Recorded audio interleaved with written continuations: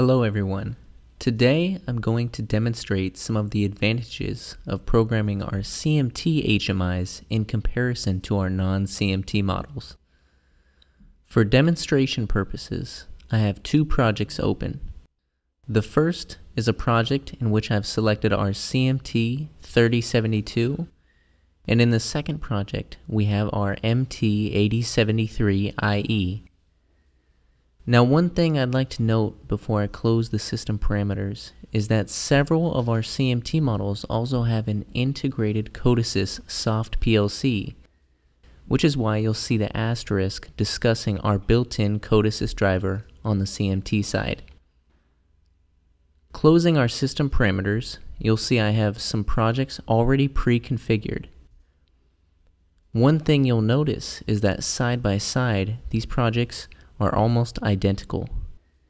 But they don't look completely the same. That's because our CMT models have a modern appearance in comparison to their older counterparts. This in itself is nice to have, but to take it one step further, the improvement to our object's aesthetics increases its functionality and decreases programming time. As a demonstration, we'll start off by looking within our data trend display. Selecting this object will reveal our General tab. And within this tab, you'll see we can define our x-axis data range, which as you'll see in a minute is particularly important to our non-CMT project. Moving over to our channel tab, you'll see we have our channel visibility control, which I have configured for our 8073, but I actually don't need to for our CMT. And finally, within our Y Scale tab, you'll notice I haven't selected any Y scaling on our CMT project. Not because it's not necessary, but because with our advanced CMT models, it's not necessary to pre-configure these, like within our 8073IE. To demonstrate this, we'll run an offline simulation. At first glance, it may look like we've neglected to add some essential features, but we've actually got everything we need. That's because if you look in the top right corner of our trend display, you'll see we have an options button. Selecting this will bring up a pop-up window where we can configure the start and end date for the data displayed, configure channel visibility, or add Y scales into our project.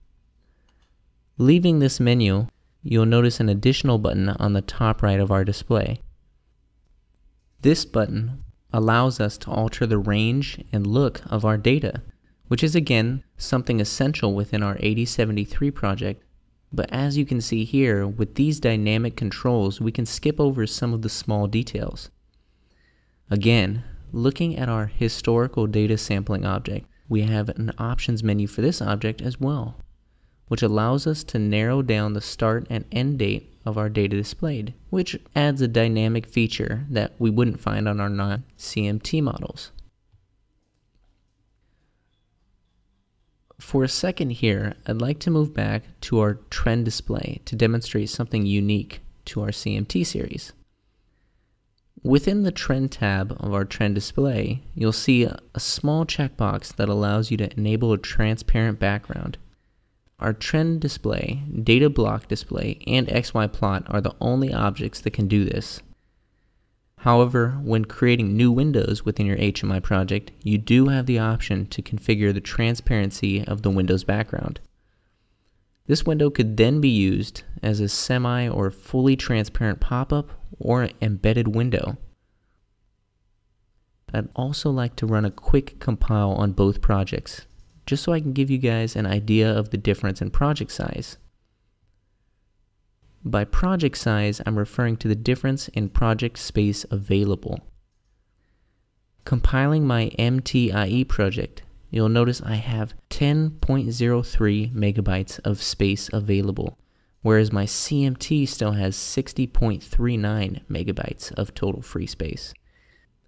This is because our CMT like our MTV and XE series, has 64 megabytes of space available for your project, while our IE is similar to our IP series in the sense that project size is limited to 22.5 megabytes.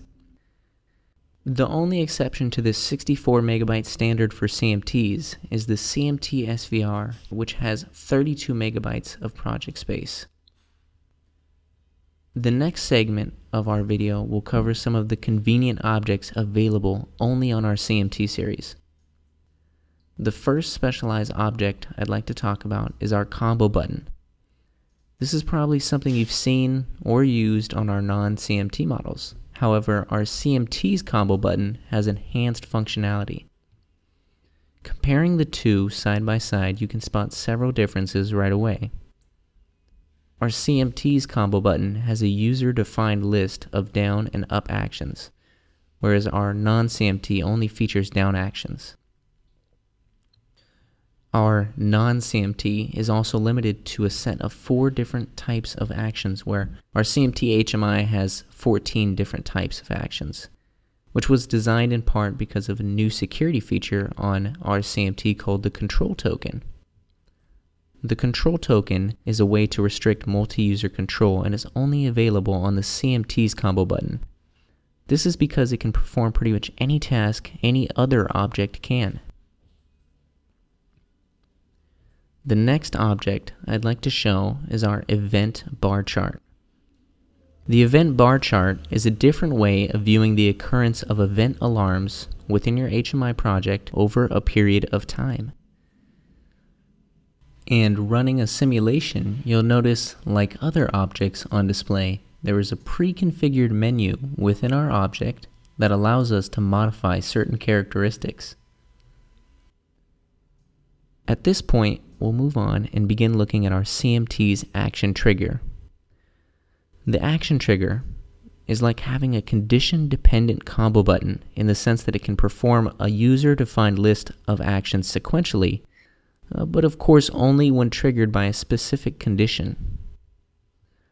We have two trigger modes. The first is idle timeout, where the HMI will perform the action if the HMI is left untouched for a specific period of time.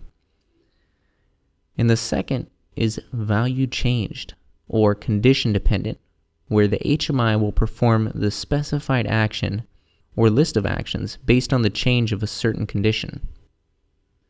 This feature is almost like using a logical function within our macro, except you don't need to write any code in this case. And of course, within the action trigger, one thing you'll notice is the file transfer button. Our file transfer option is available in both the action trigger and combo button. It's extremely simple to use with your local FTP server on our demonstration screen, I'll open the combo button to reveal our configuration. You'll notice I've specified an upload from the HMI to our FTP server by specifying the following FTP information. Under the File tab, we can choose between a fixed or dynamic file and folder path. And our Status tab will allow us to view error codes and any response from our FTP server. After that, all you need to do is create the corresponding file and folder ASCII objects, the numeric status objects, and a file browser for convenience. Now you can send or receive files depending on your specified configuration. Now we'll start looking at some of the other useful tools that are available for our CMT HMIs. We'll start off with our PDF reader. Now I have a nice demo project here that shows how this works. We have our PDF viewer object, and then in the top left corner we have our page count, a couple objects to switch pages, and of course our file browser. A couple things I'd like to mention. The first being that the PDF viewer is not accessible through CMT viewer. However, you can access it through VNC viewer. Also, the file browser and page buttons are not embedded in the object. Next to the PDF view object, you'll notice we have a button labeled calculator. In the past, and on other non-CMT HMIs, if you wanted a calculator, you'd have to develop one yourself using macros and custom objects. On our CMT series, this is no longer necessary As you'll see, we can call upon our system calculator by using a function key. This is an extra tool that is very easy to add to your existing CMT project. Next to this, we have a customizable calendar. The calendar alone is nice to have in your project, but you'll see in our calendar window how I've added some additional functionality to this object. Our contact editor is used to update your email contact information after the project has already been downloaded onto your HMI. Previously, contacts would have to be pre-configured prior to downloading your HMI project. Now with our contact editor, you can skip this step and configure email contacts for push notifications after the project has already been developed and downloaded. Now on our last window, I'd like to demonstrate something I've done with our calendar. Because the concept is here, I thought I'd develop off of it and add in a memo feature on our calendar that is cleared monthly using our scheduler function. Here an operator could type important information or save details of something that occurred outside of what the HMI is programmed to read and record. This is a simple demonstration of what an object like this could do with slight modification. Moving away from EasyBuilder Pro, I'd like to demonstrate some of the advancements within our CMT diagnoser. The first thing you'll notice in comparison to our Easy Diagnoser application is the ability to navigate through the different windows within your project. This is a useful way to narrow down and troubleshoot specific pages within your project. You also have the ability to add a watch address, which could be used in conjunction with our system registers to pull a device-specific error code, or add a PLC address to monitor data on the PLC from an address not used within your project or not visible through CMT Viewer. Our CMT diagnoser can also monitor tag-based PLCs, which is a major advantage to using our CMT series. Switching tabs, you can get device information. You can enable a capture to search for packet errors, or within our macro tab, if I had any macros within this project, we could execute them to ensure they function correctly. And we can also view information related to an MQTT server connection that we may have established within our project.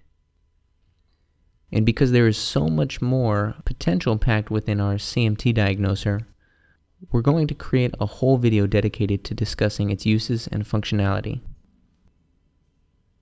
The last feature I'd like to discuss is Ethernet pass-through. Within our non-CMT HMIs, it's already possible to do a serial pass-through, but a majority of customers that I talk to tend to use Ethernet connections within their project which is why within our utility manager and within easy access, you have the ability to perform an Ethernet pass-through to an external device. To demonstrate this feature, I have created a very basic project using a CMT3090 that is equipped with a Fatek PLC. A local Ethernet pass-through to the PLC can be accomplished in less than a minute, assuming your network settings are correct. I'm currently connected to my HMI through an Ethernet hub shown in the following diagram. I'll start off by opening my utility manager. I'm going to select CMT series in the top left corner. Now selecting the analysis and maintenance tab, I'll see the Ethernet pass-through option on the bottom of this menu. Selecting this, I'll configure the IP address of my HMI and the IP of the PLC we're trying to communicate to, and then click Connect. You'll see in the following dialog, we're now successfully connected. And that's all that's required to perform a local Ethernet pass-through to your PLC with a CMT HMI. If you found this tutorial helpful and would like to see more, head on over to our YouTube channel and select the playlist tab. Feel free to check out our website as well for free demo projects, user manuals, and more. Thank you for watching.